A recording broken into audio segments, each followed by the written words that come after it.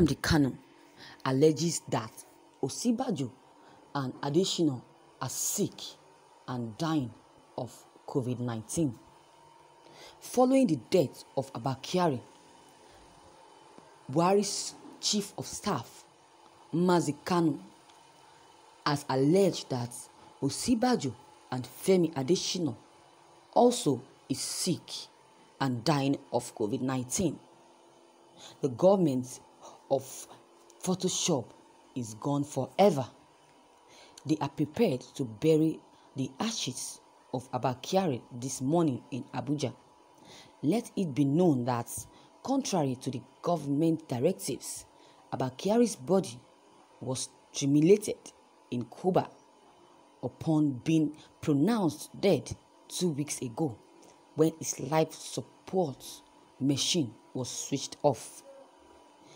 Impover- impoverished, hungry, and angry masses in the north must cut off the escape routes of coronavirus infection. Buratai, who has fled Nigeria through land border into Niger Republic while letting confused, gullible Nigerians that he is in Borno fighting Boko Haram and won't return until he has defeated them. He knows he is no longer coming back. Yoruba nation, your son Yemi Osinbajo is very sick and dying from coronavirus infection he got from Abba Kyari. Femi Adesina also is sick and dying of coronavirus.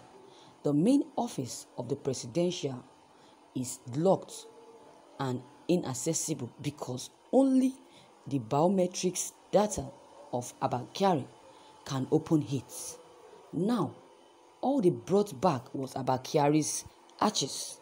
The Chinese they brought are working to dismantle the bomb-proof door.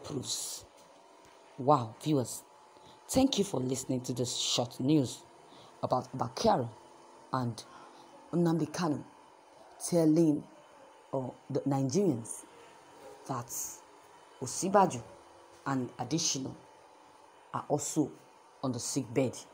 This is the same thing Nnamdi Kanu told us about Abba Kyari, but nobody ever believed what he said.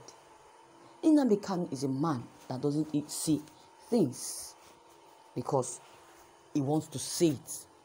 He says things with proof and evidence. He doesn't see, doesn't talk anyhow. He is always conscious of what he says because he doesn't want to offend God. But whenever he says anything, it's always, oh, you always get the facts before announcing it out to the public. That is why Biafrans trust and support everything he says. Imagine, he said that before, but nobody believed it. My prayer is that God in heaven will remove everyone that is responsible for the suffering of the masses in Nigeria in Jesus' name. Great Mazi Kanu. He kept telling Nigerians the truth, but we refuse to listen and hear the truth. They said the truth might is bitter. That is what an adage says, and truly is bitter. When someone tells you the truth, we don't believe that person until that thing comes to manifestation. He kept on kept on telling us the truth, but to some people, he's saying rubbish. He's talking rubbish. He, he told Nigerians about Abba Kyari. They did not believe him, but now it is true. Now he have made another serious revelations that some brainless people will call his names. But don't mind them. They might call him names for this new revelation that he has given. But he doesn't care. No matter what they call him, he says that he will keep saying, telling the truth. It not, he's not trying to criticize or wish anybody evil or death, but he sees as things are. They will call him names from saying all this, but he wouldn't mind them. He will keep saying it. At the end of the day, truth must surely prevail. So now that he, what is said about Abba Kyari has come to manifestation, what those that are still not believing what he says, would they keep, would they not believe or still doubt, doubt him?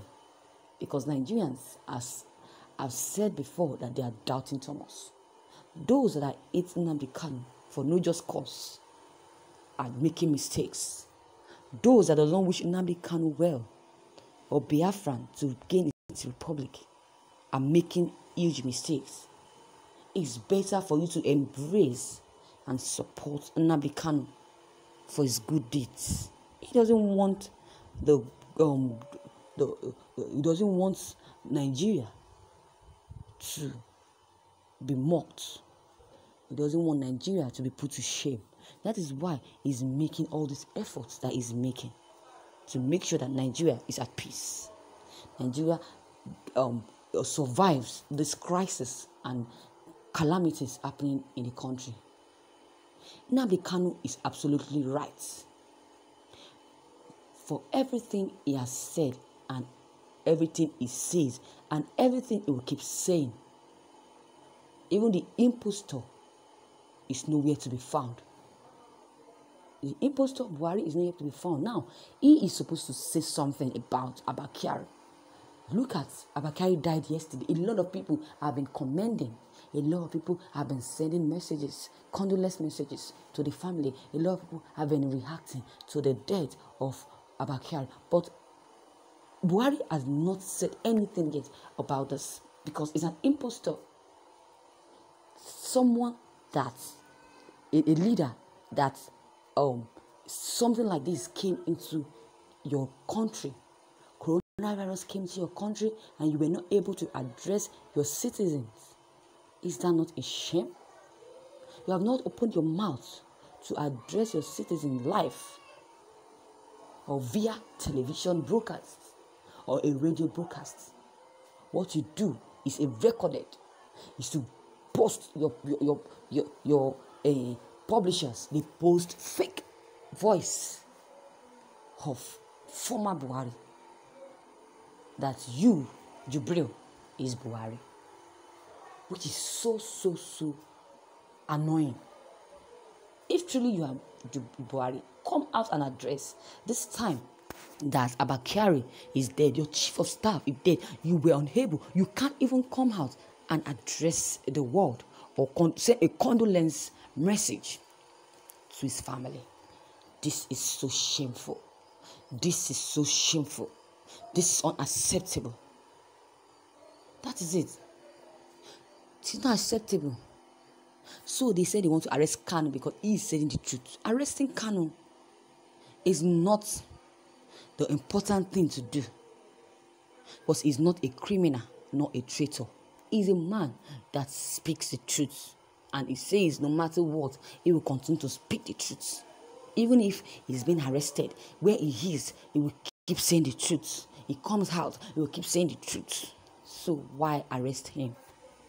So, viewers, this is what I have to say concerning this, concerning the statement made by Nnamdi Kanu, and for him revealing the truth about those people.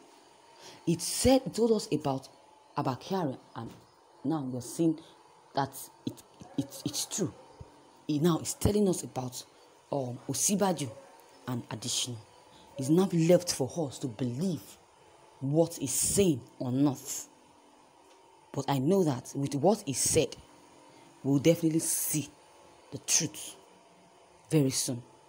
But we are not wishing them death, but a quick recovery. So, viewers, what is your take on this I just heard? If you have any comments or any contributions, don't hesitate to drop them below the comment box. Click on the subscribe button as well as the bell button to receive notifications or updates whenever I publish new videos. And don't forget, share and like this news as well. Thank you.